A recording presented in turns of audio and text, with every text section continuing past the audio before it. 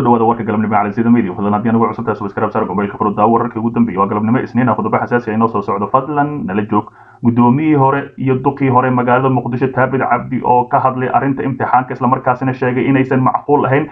Arrintaasina hagardaamo lagu sameeyey imtixaanka magaalada muqdisho oo la yidhi gebi ahaanba sideed kun ayaa ku dhacday. Taasina ay macquul ahayn. Macquul ma ahan uri dugsiyada magaalada muqdisho iyo ardaydii gebi ahaanba wax jira ma ahan. Hase ahaatee dhalinyarada magaalada muqdisho ayuu u doodayaa. Guddoomiyihii hore ee gobolka banaadir taabid cabdi maxamed ayaa war qoraalaha uu ku soo qoray ama soo dhiga bartiisa gaarka ee facebooka ayaa ka hadlay waxa uu ka aaminsan yahay natiijooyinka imtixaanka dalka ee ay wasaaradda waxbarashada soo dhigtay shalay.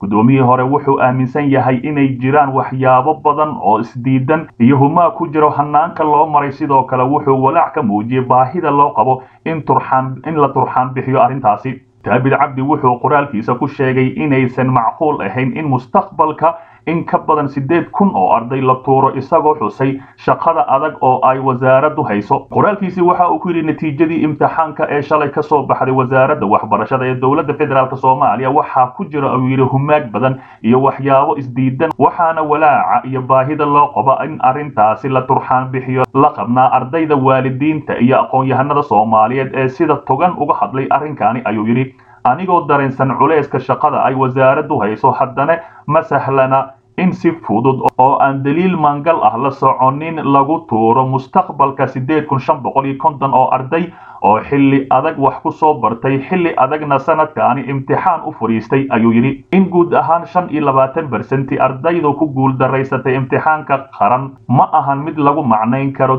dadaalyari arday iyo tayodarro dugsiyada balse waxay burbur iyo guuldarro ku tahay ayuu yidhi nidaamka waxbarashada ee dalka. Dhanka kale waa arrin ugub ahay in soddon iyo lix bersenti ay dhaceen ardaydii gobolka banaadir sanadkaani u gashay imtixaanka waxayna u baahan tahay tafaasiil caqligal ahi sababta keentay hoos u dhaca sidaa u weyn ayuu mar kale yidhi wasaaradda waxbarashada iyo tacliinta sare waxaa loogu fadhiyaa in ay sida ugu dhaqsaha badan bulshada ugu soo bandhigto caddaymo iyo tafaasiil si dhab ahi loogu kuurgalo oo bulshada lagu qancin karo ayuu yidhi. Ugu dambayntii iyadoo la tixgelinayo dareenka ardayda waalidka iyo cid walba oo shaki badan ka qaaday natiijadan waxaan soo jeedinaynaa in arrinkaani loo saaro guddi baara sidii imtixaanka loo qaaday sidii loo saxay haddii aan goobaha qaar la sixin iyo ammaanada imtixaanka taas oo dawo u noqon doonto walaaca taagan daahana ka ragi doonto cidda lahayd mas'uuliyadda guuldarrada nidaamka waxbarasho ee dugsiyada sare ayuu yidhi.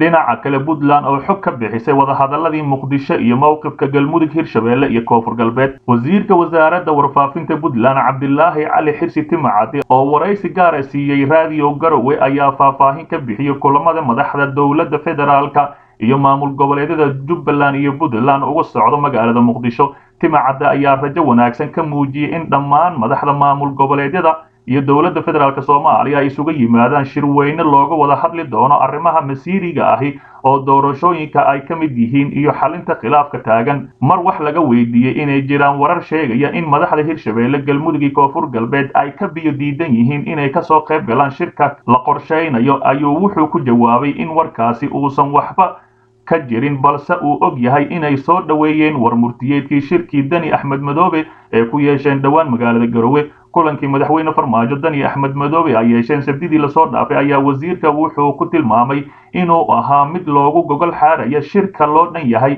isagoo meesha ka saaray warar sheegaya in heshiis ay dhinacyada ku gaareen. Wuxuu wasiir timacadde dhanka kale ka warbixiyey kulamo gaargaar ahi oo dani muqdisho kula yeeshay wakiilada beesha caalamka iyo safiirada ajnebiga isagoo tilmaamay inay ahaayeen kuwo ku saabsan dardargelinta wadahadallada arrimaha doorashooyinka ee dalka. Dhinaca kale guddoomiye cumar finish oo ballanqaad u sameeyey shacabka muqdisho. Guddoomiyaha gobolka banaadir ahna duqa magaalada muqdisho cumar maxamuud maxamed cumar finish ayaa kormeeray dhismaha waddada isku xirta isgoyska boondheere iyo siinay oo dhismaheedu meel gebagaba ahi marayo. Guddoomiyaha oo warbaahinta la hadlay ayaa sheegay in dhismaha waddadaasi ay gacan ka geysteen qaar ka mid ah ganacsatada soomaaliyeed islamarkaasina uu rajaynayay inay ka faa'iidaysan doonaan bulshada soomaaliyeed. Waxa uu sheegay inay jiraan wadooyin fara badan oo ku yaalla caasimada oo weli burbursan islamarkaasina maamulka gobolka banaadir iyo bulshada ay dhisi doonaan waddooyinka muqdisho islamarkaasina shacabka soomaaliyeed dana u tahay.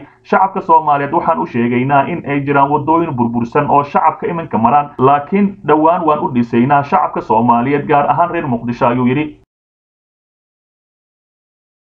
xog xasaasi ah dagaal culus oo dhex maray laba xildhibaan islamarkaasina baraha bulshada isku aflagaadeynaya xildhibaan xidig oo difaacay axmed madoobe weerar afkana ku qaaday. Xildhibaan jees oo islamarkaasina ku sheegay nin aan naag ahayn dumarna ahayn. Sidee ugu jawaaba ayuu yidhi cabdirashiid xidig mudane ka tirsan golaha shacabka baarlamaanka soomaaliya. Kana mid ahay musharaxiinta doorashada jubbaland ayaa weerar afka ahi ku qaaday. Dhigiisa daahir amiin jees oo maalmo ka hor sheegay in axmed madoobe xabsiga la dhiga ama madaxweyne farmaajo uu ka codsaday in xabsiga u dhiga madaxweyne axmed madoobe hase ahaatee xidig oo difaacaya axmed madoobe qaraabadiisa ah ayaa waxa uu sheegay xidig inuu yahay nin horay diinta islaamka ugu gafay. Xildhibaan xidig ayaa bartilmaameedsigaani sameeyey xili la hordhigayay in uu ka jawaabo dalab uu jeesow u gudbiyey villa soomaaliya madaxweyne farmaajo oo ahaa in xabsiga loo taxaabo madaxweyne jubbaland axmed madoobe sharci dejiye jesow ayaa ka mid ahay mudanayaasha xiriirka dhowla leh dowladda wakhtigeeda sii dhammaanaya ee madaxweyne farmaajo. Siyaasi cabdirashiid xidig oo ka mid ahay wafdiga axmed madoobe ee caasimada muqdisho ku sugan ayaa dhegaha shacabka dib u xasuusiyey hadallo ka soo yeeray jesow kaasoo dood xoogan dhaliyey sannado ka hor. Xildhibaan jesow in ay dariiqyada isaga darsamaan ma ahan taariikhda jesow waxay ahayd in uu isaga dhuunta saxaafadda iyo meelaha bulshada ay joogaan bulshada isugu timaado in uu meel public ahi ka hadlo meel ka dhac bay ku tahay ummadda soomaaliyeed iyo islaamka oo dhan innagoo og in uu shakhsiyan taageeray wax aan diinta islaamka ku habboonayn oo ah in dadka isku jinsiga ah ay xitaa isguursan karaan. Ayuu u sheegay telefishinka maxalliga ah ee soomaali cable. Wuxuu ku daray jesow si aan aniga ugu jawaabo ma aqaan sababtoo ah bulshada waa laba qaybood. Jinsigooda lab ama dhidig ayuu yidhi xildhibaan xidig isagoo ka jawaabaya su'aal ku saabsan wararka xusaya in codadkaasi ay ahaayeen kuwo la soo jarjaray wallaahi hadday tahay iyo haddii aysan ahaynba waxaan meesha ku aragnay. Waxay ahayd qofka markuu nin yahay sida loogu jawaabo waa la yaqaanaa siduu yahayna marka uu dumar yahayna waa la yaqaanaa. Laakiin meel u dhexaysa sida loogu jawaabo aniga ma aqaano ayuu markale yidhi xildhibaan xidig xilli uu si toos ah u wajahayay qiilka uu jeesa u cuskaday xiritaanka axmed madoobe ee ahaa in ay dabasho beeleedyo badan xidig ayaa eedayntaasi ku qaaxay mid laga badbadinayo oo salka ku hayso nacayb. Ma dhahayo beelaha tabanaya waxba kama jirto cabashadooda haddana in qolo gaar ahi la yidhaahdo uma qalanto in ay meesha joogaan waa nacayb gooni ahi ayuu ku adkaystay isagoo u muuqda mid garab istaagaya walaalkiis axmed madoobe villa soomaaliya ayaa horay muqdisho ugu xirtay cabdirashiid janan wasiirka amniga jubbaland kaasoo bilooyin kadib ka baxsada jeelka warar baa jira oo tibaaxaya in ay isku dayday in ay xorriyadda ka qaado axmed madoobe hase ahaatee taasi waa ay u suurageli waasay villa soomaaliya si kastaba ahaatee iminka ayuu soo baxaya waraysi kale oo lala yeelanayo.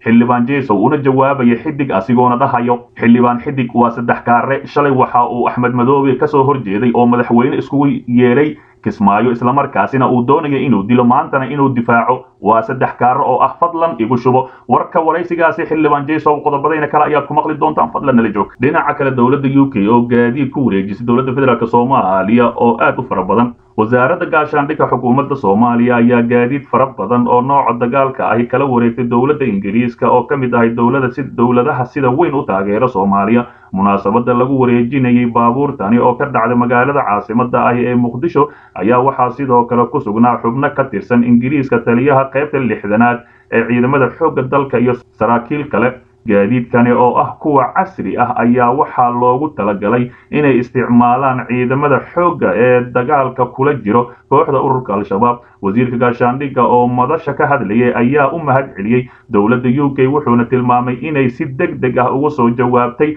codsigii ay u direen. Waxaan u mahad celinayaa dowladda u k oo nagu wareejisay gaadiid nooca dagaalka oo casri ah ayna ka soo jawaabeen codsigeenii oo ah in ay nagala qayb qaataan dib u dhiska ciidamada qalabka sida ayuu yidhi wasiir xasan cali maxamed amar dambe dowladda soomaaliya ayaa muddooyinkii dambe taageero kala duwan ka helaysa saaxiibada soomaaliya waxaana dhowaan gaadiid gaashaaman oo casri ahi ay kala wareegtay dowladda turkiga oo iyana ka mid ahi dalalka sida weyn u taageero soomaaliya iyo ciidamada xoogga dalka soomaaliyeed